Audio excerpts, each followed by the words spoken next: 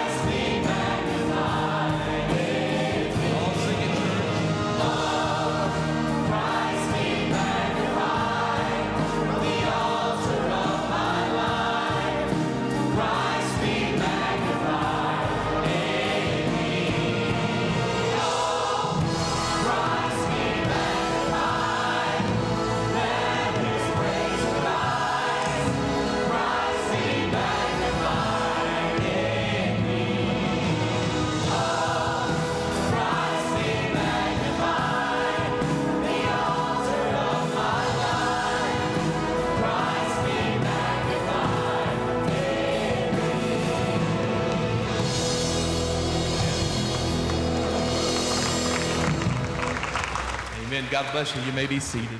Well, amen. And that is the prayer of our hearts. Good to see each of you today. I want to remind uh, you, First Baptist Church family, that last Wednesday we began our new discipleship semester. I think we have somewhere around 30 different classes that are being offered. Great opportunities for us to grow in our walk with the Lord. And so I want to encourage you to take advantage of those discipleship classes on Wednesday night. And then I, too, along with Brother Gary, want to encourage you to be back tonight.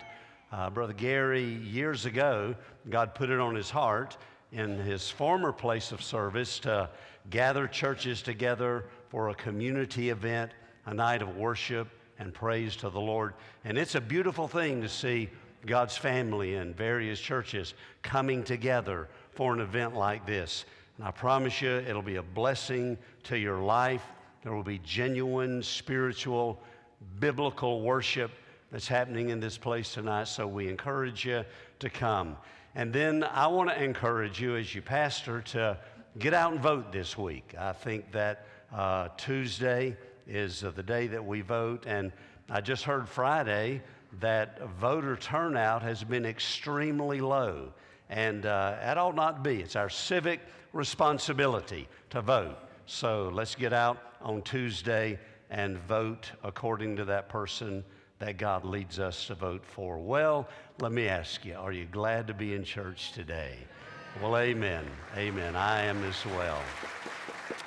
Would you bow with me, please, as we pray together?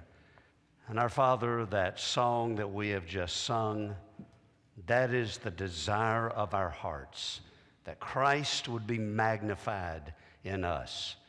God, that the fruit of the Spirit would be seen in our lives. Lord, so that when others look at us who do not know the Lord Jesus, they would be convicted just by the way that we carry out our lives because they know something's different about us. And what's different is that we've been saved by the grace of God, indwelt by the Holy Spirit. And Lord, that makes a difference. And I pray that would whet the appetites of those in the workplace, those in our schools, those that observe us, and we would have opportunities to share the good news of the gospel with those around us. Our Father, we thank you for this day, the Lord's Day. We are rejoicing and we're glad in it. We thank you for this place that we call First Baptist, our home, where we come together as the family of God, sing praises unto your name, open the Word, receive instruction from the Scriptures so that our lives might be transformed. Our Father, we do want to pray in Jesus' name for not only this service, but we pray for our Youngstown campus today as they meet that you would bless them. I pray for our Hispanic campus as they meet, that you would bless them. God, I pray that everything that comes underneath the umbrella of First Baptist Church, Panama City today would be done, that the Lord God might be lifted up, exalted, worshiped, praised, honored, and glorified. Our Father, we do thank you for the opportunity that we have to give this morning, and we pray in Jesus' name that you would take the offering that is received today and use it to help us reach people with the gospel around the world. In the sweet name of Jesus, we do pray. Amen.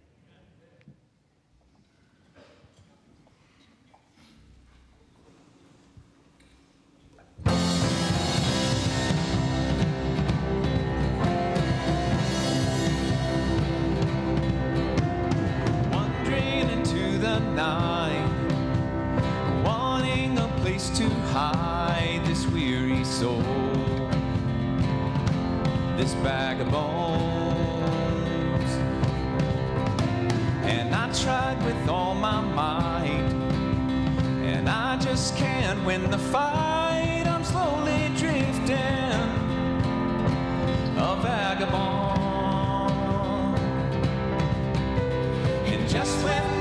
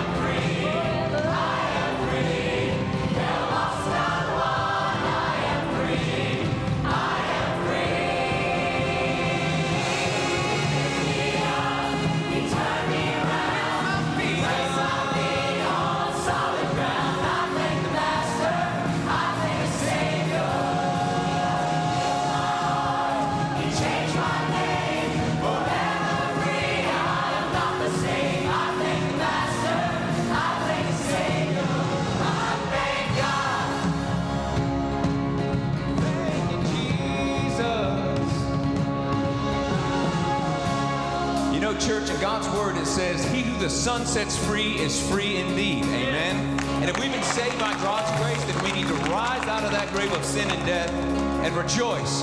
So let's sing.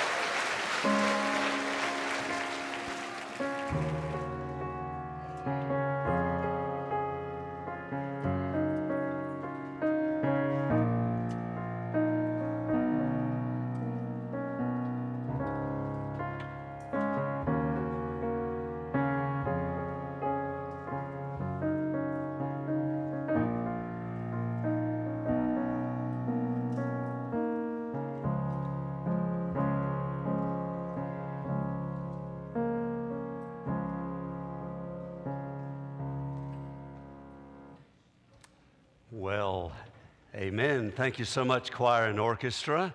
Uh, Brother Gary, are we all do that again tonight? All right, it'll be worth coming back tonight just for that song. Invite you to open your Bibles this morning to the book of Exodus, find chapter number 17. Exodus chapter 17, as we continue our study on Moses, God's mighty man. Exodus chapter number 17. You know, over the years, uh, I have a lot of stories to tell from First Baptist Church, Panama City, and my experiences, but uh, one of those stories goes back to a time, an event that occurred that told me that a certain statement that we often hear in life is just not true. I can remember a statement I used here all the time, especially as an inquisitive child and that is that, Craig, what you don't know won't hurt you. How many of you have ever heard that statement? Well, that statement just is not true.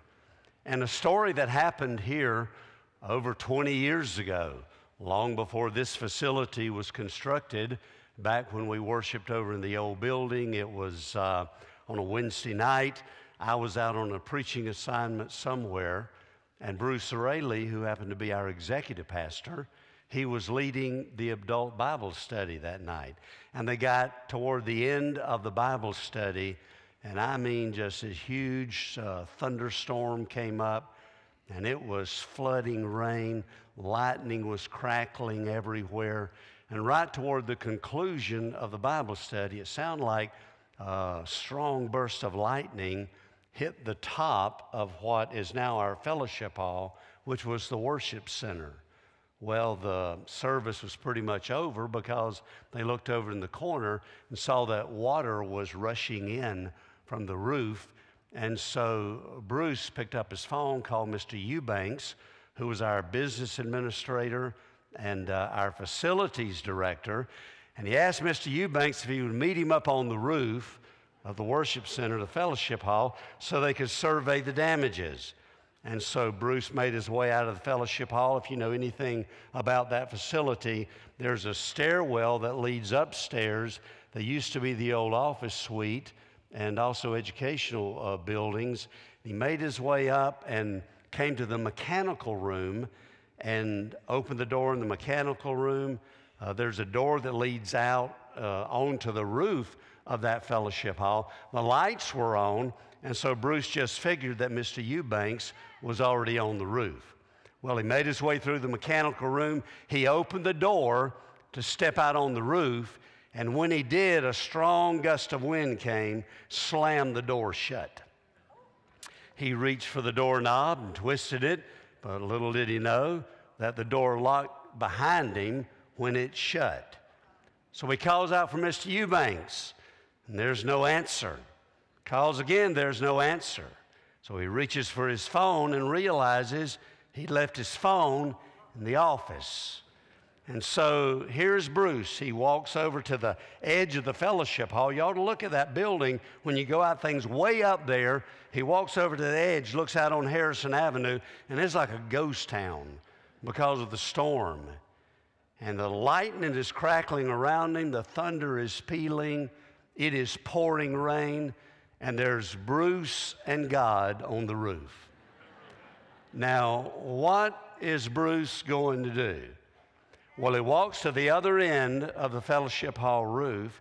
He climbs down a stair that led to a lower level roof of the B building, knocks out a window so that he can escape being electrocuted.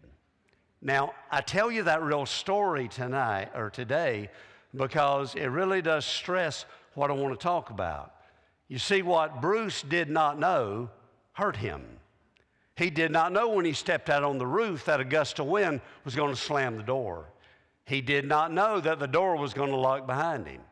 He did not know that he was alone by himself up on that roof. And I want to tell you, friends, there are some things in the Christian life, if we do not know them, those things will hurt us. So, as we continue this study through the life of Moses, that's what I want to talk about. Things we must know. Exodus chapter 17. Verse 1 Then all the congregation of the children of Israel set out on their journey from the wilderness of sin, according to the commandment of the Lord. They camped in Rephidim, but there was no water for the people to drink. Therefore the people contended with Moses and said, Give us water that we may drink. So Moses said to them, Why do you contend with me? Why do you tempt the Lord? And the people thirsted there for water, and the people complained against Moses and said, Why is it that you have brought us up out of Egypt to kill us and our children and our livestock with thirst? So Moses cried to the Lord, saying, What shall I do with this people? They are almost ready to stone me. And the Lord said to Moses, Go on before the people. Take with you some of the elders of Israel, also take in your hand your rod with which you struck the river, and go. Behold, I will stand before you there on the rock in Horeb, and you shall strike the rock, and water will come out of it, and the people may drink. And Moses did so in the sight of the elders of Israel. So he called the name of the place Massah and Meribah because of the contention of the children of Israel, and because they tempted the Lord, saying, Is the Lord among us or not? Now Amalek came and fought with Israel in Rephidim. Moses said to Joshua, Choose us some men and go out and fight with Amalek. Tomorrow I will stand on the top of the hill with the rod of God in my hand. Joshua did as Moses said to him and fought with Amalek. And Moses and Aaron and Hur, they went up to the top of the hill. And so it was when Moses held up his hand that Israel prevailed. And when he let down his hand, Amalek prevailed. But Moses' hands became heavy. So they took a stone and put it under him, and he sat on it. And Aaron and Hur supported his hands, one on one side, the other on the other side. And his hands were steady until the going down of the sun. So Joshua defeated Amalek and his people with the edge of the sword. Then the Lord said to Moses, Write this for a memorial in the book and recount it in the hearing of, of Joshua that I will utterly blot out the remembrance of Amalek from under heaven. And Moses built up the altar and called its name, The Lord is my banner. For he said, Because the Lord has sworn, the Lord will have war with Amalek from generation to generation. Now, here's an Old Testament passage of Scripture that is absolutely fraught with rich symbolism. And as we make our way through the text, I think that you will understand as well that here is a text that is filled with great principles that have great application to our Christian lives. Now, you know that the children of Israel have been delivered from Egypt, and let me say it once again. I've said it a hundred times. Their deliverance from Egypt is a picture of our redemption in Christ and our deliverance from the bondage of sin. They are on their way to Canaan. Canaan is a symbol for the victorious Christian life. But as they have been redeemed and they are on their way to the victorious life, there are some lessons that they had to learn. And friend, the same thing is true for you and I. Once we are saved by the grace of God, we've been redeemed from the bondage of sin, we are moving toward our victory in Christ there as well are some lessons that we have to learn. And there are three lessons that I want to pull out of this text. And the first one is that the Christian life has a provision. The Christian life has a provision. We see that in verses 1 through 6. And the first thing that is highlighted here is the problem. And the problem was they had no water. And if you remember, we've already looked at two other passages of Scripture where the water test was involved, and here we see it once again. So, as the children of Israel were moving towards Sinai, they were still being led by the cloud by day and the pillar of fire by night. But on their journey toward Canaan, God continued to lead them into trying and difficult circumstances and situations. He continued to lead them to the borderline of great challenges in their life in order that he might prove his power to them and in order that he might build their faith and their character. See, dear friends, life is more than just a destination. Life involves a journey. And as we are journeying toward our destination as God's people, what is it that God's doing in our life? He is bringing challenges and difficulties, and He is bringing circumstances that oftentimes we don't have to face. God has a purpose behind all of that. God is seeking to increase our knowledge of Him and to build our godly character. And the way that God does that is by putting us in situations much like He put them in here. So, number one, we see the problem. Number two, we see the provision. We notice that provision in chapter 17, verses 5 and 6, when the Bible says, Behold, I'll stand before you there on the rock in Horeb. You will strike the rock, and water will come out of it, that the people may drink. And so Moses did so in the sight of all the elders. So God told Moses, I want you to take some of these elders. I want you to go to this rock. I'm going to show you where it is. I'm going to go before you before you get to the rock. I'm going to be there. I want you to strike the rock. And so Moses did as God said, and then God did what God said he would do. Now, there is absolutely no speculation as to what this rock that was struck, what it symbolized in Exodus chapter 17. There's no speculation because the Bible tells us clearly over in the book of uh, 1 Corinthians, chapter 10, the Bible says, Moreover, brethren, I do not want you to be unaware that all of our fathers were under the cloud and all passed through the sea. All were baptized uh, unto, into Moses in the cloud and the sea. All ate the same spiritual food. All drank the same spiritual drink. For they drank of that spiritual rock that followed them, and that rock was Christ. So that rock from which the water flowed, that was a type of Christ. And that rock that was smitten was a picture of the Lord Jesus, that rock that was crucified on the cross to set us free from our sins.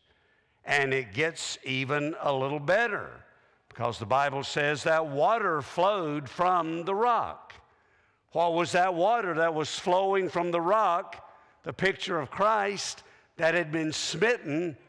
What was that water a picture of? John chapter 7, verse 37. On the last day, the great day of the feast, Jesus stood and cried out, saying, If anyone thirst, let him come to me and drink. He who believes in me, as the scripture has said, out of his heart shall flow rivers of living water. But this he spoke concerning the Spirit. So, what was the water that was flowing from the rock? That was a picture of the crucified Christ. That was the Holy Spirit of God. And, friend, what, what we have here is an amazing picture of God's provision for us. What is that provision? It's Jesus and the Holy Spirit. Once we get saved, we are indwelt by the Holy Spirit. And therefore, we are equipped to live life and face any challenge in life that we might face. But you know, I got to thinking about that smitten rock and that being a picture of the Lord Jesus being crucified on the cross. And I said, wow, that really does give us an answer to something interesting that is brought up over in the book of Numbers, chapter 20. There we see the children of Israel once again. They were without water.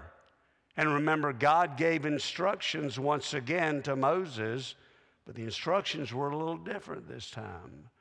Remember, God said to Moses, Now I want you to go, and there's going to be this rock. Water's going to come out of that rock. But remember the instructions that God changed? God said, You're not to smite the rock, you're to speak to the rock. Now, why was that? Because the rock, that was a picture of Christ, that was crucified, that's not going to happen again. You're not to smite the rock again. The rock has already been smitten. And so you see, what we must know in life is that the sacrifice of Christ on the cross, his death for our sin and the sins of the world, was a one time event. It will never happen again. As a matter of fact, the writer of Hebrews says Christ died once for the sins of many. That's the sins of the entire world. What I'm telling you today, friend, if you've put your faith in Jesus, if you've been born again, you don't need something else. What happened there on the cross with his crucifixion, his burial, his resurrection, his ascension, friend, that is absolutely sufficient for the sin problem in your life, in my life, and in the life of the world. So, what's the first principle that we learn? That is that the Christian life has a provision.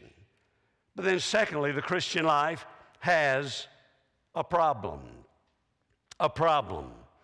Down in verse number eight, now Amalek came and he fought with Israel in Rephidim. Now, I would agree that based on some sermons you hear, you would think that the Christian life has no problems. You would think that once you put your faith in Christ, man, it is trouble free living from there on out. But, friend, that's just not the truth. Anybody who has attempted to walk with Jesus, they will tell you that the Christian life is not only filled with blessings, the Christian life's also filled with battles. And so here we see the blessing of the water that was flowing, but then we see in verse 8 the battle. Now, isn't it interesting that immediately after the water flowed, a picture of the Holy Spirit coming into the life of the one who has repented and put their faith in Christ. That immediately after that, the battle broke out. What a picture that is. Immediately after we've opened up our lives to Jesus, the Holy Spirit of God has come in to live on the inside of us. Then immediately after that, some battles begin to break out. You know, there are a couple of things that we see here. Number one is an unexpected intrusion. An unexpected intrusion. It was almost like without warning. I mean, think about it. Here they were. One day the manna and the quail were falling from the skies. The rich supply of the resources of God were flowing through that rock. And then all of a sudden, their heavenly experience was interrupted by an earthly problem. Kind of reminds me of Peter, James, John. They went up on the Mount of Transfiguration. What did they see? They saw Christ in all of his glory. Bible says he lit up, he glowed on the outside with what was really on the inside of him. The Shekinah glory of God. They saw all of that, that great experience, and they came down from the mountain, and the Bible says they encountered a demon possessed boy that they were not able to help. Now, friend, that's the real Christian life. I'm telling you, the Christian life can move from the thrill of victory to the agony of defeat just like that. The Christian life can move from the experience of singing and shouting to sighing and sorrowing. Christian life can immediately move, boom, just like that, from the mountain to the valley. That's what the real Christian life is like. And all of a sudden, we find this unexpected intrusion that is coming into our lives. But there's a second thing that we see, and that is an unending irritant. An unending irritant. I really believe that when we read between the lines about these people, the Amalekites, we see an unending irritant. These Amalekites were like termites to the Hebrew people. They were a constant thorn in their side. They seemed not to be able to get away from the attack of these Amalekites. Now, friends, if you listen right here, say amen. We as well have an unending irritant. You know what it is? Bible calls it the flesh. The flesh. That's our unending irritant. It is always there from the moment that we get up in the morning till we go to bed at night and even through our dreams. It is always there. You see, every person that is unsaved has one nature. It's called sin nature, it's the flesh. And there's no battle internally in their lives with spiritual matters because sin nature doesn't attack the sin nature. But every time somebody puts their faith and trust in the Lord Jesus, the Bible says that we get a new nature. And so here we have this new nature that goes along with this old nature, which is the flesh. And this old nature, the flesh, is constantly battling the spirit. And so this unredeemed flesh is constantly doing battle against the redeemed spirit. And the great news is that when we utilize the spiritual resources that God has given to us, then we can gain victory in the spirit over the flesh. Now, I know what you're thinking because I can read minds. You didn't know that, did you? And right now, some of you are saying, Well, Pastor, where in the world did you get the idea that the Amalekites doing battle against the Israelites is a picture of the flesh doing battle against the spirit? Where'd you get that idea? Got it from the Bible. The Bible tells us that Abraham and Sarah had two sons. Remember their names? Isaac and Ishmael. Isaac was son of promise, while Ishmael was born into the family through the works of the flesh. It came as the result of adulterous relationship between Abraham and Hagar, who happened to be the handmaid of Abraham and Sarah. And then the Bible tells us that Isaac had two sons. Their names were Jacob and Esau. The Bible tells us that Esau despised his family birthright. Remember, he sold it to his scheming brother Jacob, and the result is that there was war in that family. But who was Amalek? Amalek was the grandson of Esau, and Esau married the daughter of Ishmael, who, according to Galatians 4, verse 23, was born according to the flesh. Who in Galatians 4 29, the Bible says, persecuted him, that is Isaac, who was born according to the Spirit. So the one who was born according to the flesh was battling the one who was born according to the Spirit. The Amalekites, who were battling the Israelites, were born according to the flesh, being in the family tree of Ishmael. That's why it is a picture of the flesh. Now, let me give you something to chew on here a minute.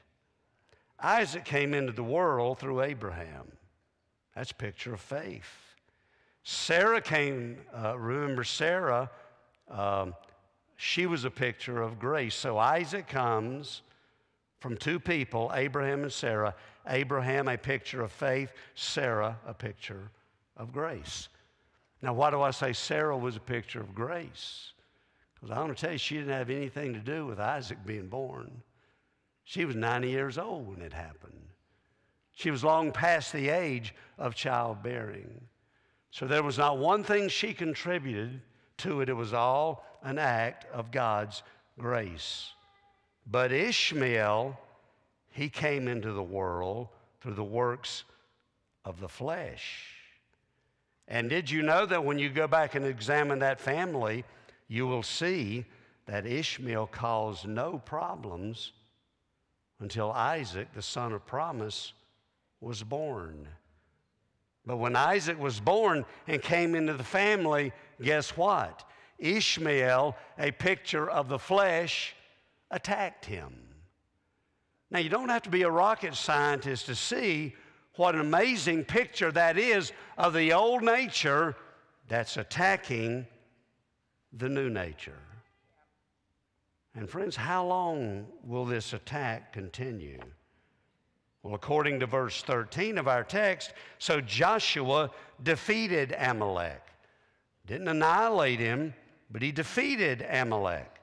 Verse 16, for he said, Because the Lord has sworn, the Lord will have war with Amalek, what? From generation to generation. Let me give you a secret that's not a secret. You're going to have the flesh with you as long as you are in this life until you are glorified. And in the presence of the Lord, you're going to do battle with the flesh. This old nature is going to attack your new nature. But here's what we have to make sure of. You know, how does Satan attack us? It's through the flesh. What we've got to make sure of is that we don't cooperate with Satan by giving place to the flesh. I found an interesting commentary. You don't have to turn there, but Deuteronomy chapter 25, verses 17 down through about verse 18. There's a commentary in this passage on Ex- Exodus 17. And it's very interesting. It says, Remember what Amalek did to you on the way as you were coming out of Egypt. How he met you on the way and how he attacked your rear ranks. All of the stragglers at your rear. When you were tired and weary, and he did not fear God. You get the picture? Amalek, you might say, had a little sneak attack. And he came up upon the Israelites from the rear. And he attacked, the Bible says, those who were number one, the stragglers. Those that had distanced themselves from the rest of the group were attacked by Amalek, who is the picture of the flesh. You know, when we are most vulnerable to the flesh, it's when we develop the idea, the Lone Ranger philosophy. I can do it alone. I can separate myself from the body. Let me tell you something, friend. You're in a dangerous place when you separate yourself from the body of Christ. When you separate yourself from that small group where there is accountability and prayer and ministry and support and encouragement, when you separate yourself from that, you are putting yourself in a position where the flesh is going to eat your lunch. I don't care who you are, how long you've been saved, how spiritual you think you might be, you can't make it alone. That is why God designed the church and the body of Christ in the way that He designed it. I'm not making this stuff up. The Bible says the flesh, Amalek, attacked the stragglers, but it also attacked the sick. The sick, verse number 18. How he met you by the way, attacked your rear ranks, all the stragglers at the rear, when you were tired. And that word literally means ill, when you were sick. I think the Apostle Paul talks about the sick group in 1 Corinthians chapter 3, verses 1 through 3, where he talks about carnal believers. You know, the word carnal means flesh. So he's talking there about believers that are walking in the flesh rather than the power of the Spirit. And he says that spiritually speaking, they are sick. Who are the sick that the flesh comes after? Those who are saved and satisfied. They just don't care about a deeper walk, they're just saved and satisfied. Just content to just sit and sour until the second coming. Those that are lukewarm, those who are happy just to have some fire insurance so they know they won't go to hell, but they really don't want to get on fire for God and to go all in for the Lord and to make Him the priority of their life. And the Bible says they are spiritually sick and they are setting themselves up for a fall because the flesh will attack them. Came after the stragglers and the sick, but also the stressed, because the Bible says Amalek attacked those who were weary. Friend, in case you don't know it, and I'm sure you do know it, when God made us, God made us a trichotomy. We're body, we're soul, we are spirit. And did you know that when one of those areas of our God given, God created personality is out of whack, it's going to affect every other area. And so, what do we have to do? We have to refresh ourselves. One of the things that I have missed during the last couple of months when it's been 175 degrees every afternoon when I got home I've missed walking. I like to get out and walk two or three miles every day just to keep my, my mind alert if that's possible. Don't have much of a one to keep alert, but I like to exercise and keep myself fit. I believe that's the will of God. Because I want to tell you, when I get worn down, stressed out physically, it's going to affect me spiritually and emotionally. That's why you got to, as the old hymn says, take time to be holy. Friend, if you don't take time for yourself, to refresh yourself, body, soul, and spirit, it's going to catch up to you. It's going to weaken you. It's going to put you in a position of vulnerability to the attacks of the flesh. Well, one final thing, and that is that the Christian life has a power. Christian life has a power down in verses 8 through 13. And I'll not read these verses. We've read them once about what was happening here, but this is one of the most dramatic symbols in all of God's Word. Here comes Amalek along. They attack the Israelites. The Bible says that Joshua and his army they go down in the valley and they do battle with the Amalekites. Moses goes on top of the mountain. Remember now, Moses is 81 years old at this time. And I think that Moses was probably thinking, you know what? I'm 81 years old. I'm really not physically fit like I once was to engage in hand to hand combat. But there's something I can do, and I'll do it. And the Bible says that Moses went up on top of the mountain and he was observing. And then the Bible says that as long as Moses on the mountain had his hands lifted up, that Israel prevailed. But when his hands began to be lowered advantage Amalek. Now we know what the uplifted hands are a picture of. Psalm 63 in verse number 4 Thus will I bless you while I live. I will lift up my hands in your name. It is a picture of intercessory prayer. And so Moses, his hands began to let down. Aaron and Hur, his spiritual buddies, come alongside him, set him down on a stone, get him low enough where they can stoop down and put their hands under his arms and keep them lifted up so that Israel can win the battle. You know, there are three things involved in the winning of this battle. Number one was the power of God in heaven. Number two was the skill of Joshua and his army in the valley.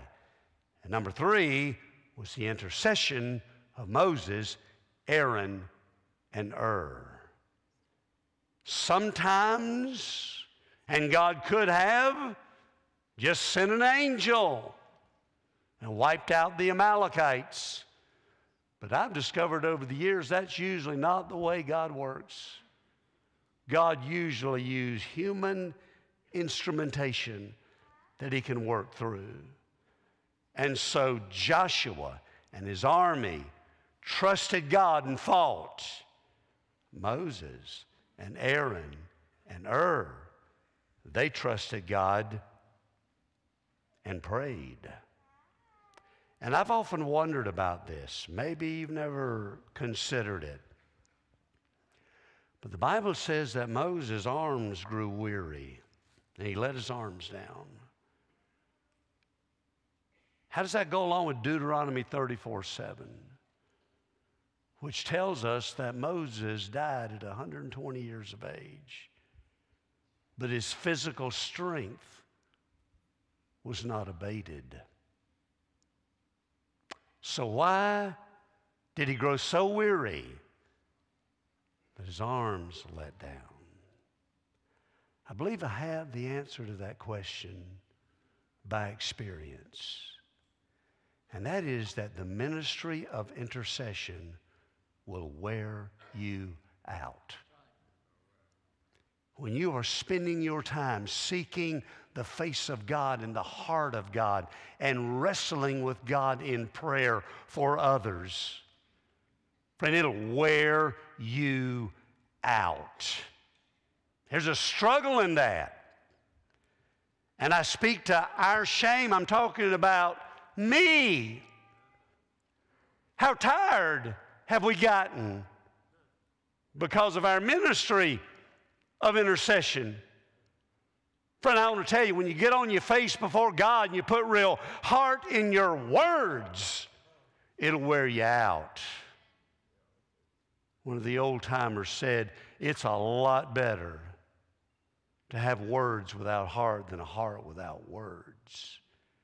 And when you put your heart into those words, it'll wear you out.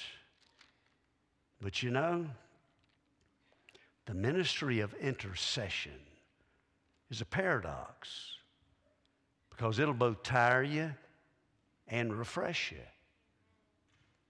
But the thing about intercession, the important thing about intercession is not what it does for us, but what it does for others.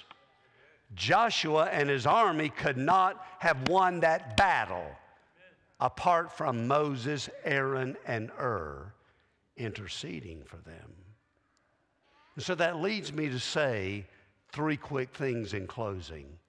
Knowing that, knowing that because of what Moses and Aaron and Hur did on the mountain secured the victory in the valley. Would you not agree that we ought to be challenged to be intercessors? We ought to intercede for our families. You know, the bumper sticker asks, Have you hugged your kids today? God asks, Have you prayed for your kids today? The greatest single thing we could ever do is to pray regularly, consistently, daily, passionately, energetically for our children. Every child needs a mama and a daddy who prays earnestly for them. And I want to tell you, friend, God's antidote for the sin that wants to infect our children is prayer. That's God's antidote. Do you bathe them in prayer? Best thing a husband could ever do for his wife is to pray for her. Best thing a wife could ever do for her husband is to pray for him. I've discovered over the years that if my wife's my prayer partner, we don't argue nearly as much because you're not going to fight with your prayer partner. And it blesses your spouse when they hear you praying for them. We ought to intercede for our families. We ought to intercede for our nation. Dear God in heaven, does our nation need help? What's the answer? 1 Timothy chapter 2, therefore, I exhort first of all that supplications, prayers, intercessions, giving of thanks be made for all men, for kings, and all who are in authority. Dear God in heaven, when we look at what we have to choose from in the political spectrum, God's people need to pray. We need to pray for our church. Pray for the families in our church, the marriages in our church, the ministries in our church. Pray that our church will reach people with the gospel and disciple them. My daily prayer is, oh God, give our staff vision in their areas of ministry to reach people with the gospel and then disciple them they might grow up fully mature in Christ. Pray that our church would be the house of hope and live up to our mantra. Pray that our church would love God, obey God, and serve God. Pray for the finances of our church. The Bible says that we're to bear one another's burdens and so fulfill the law of Christ. And the best way you can bear a burden is to pray for somebody. Charles Spurgeon said, and I quote, Prayer pulls the rope down below, and the great bell rings above in the ears of God. Prayer pulls the rope that rings the bell that God hears. I want to have bloody hands from yanking on that rope. What a difference we could make if we were men and women and boys and girls of intercession. Let's commit ourselves today to the ministry of intercession. Would you stand, please? Heads are bowed, eyes are closed, no one looking around, not sure where the sermon hit you today. Maybe you're here today and you really can't do any of this stuff because you've never put your faith and trust in the Lord Jesus. Jesus died for your sins on the cross, was buried, raised the third day, and promises that if you will ask Him, He will forgive you, come into your life, and grant you eternal life. Maybe someone is here today and you've been thinking about this, maybe for months or years. Today, you need to make that decision. Our counselors are down front and they will help you. So come today. Maybe you're here today. God said, This is the church where I want you to plant your life. You come today, unite with this church family. Maybe you want to just utilize the altar to pray. We invite you to come. But Father, we thank you for this amazing book that we call the Bible. Lord, that has such up to date illustrations and applications as to how we can make the Christian life work today for the glory of God.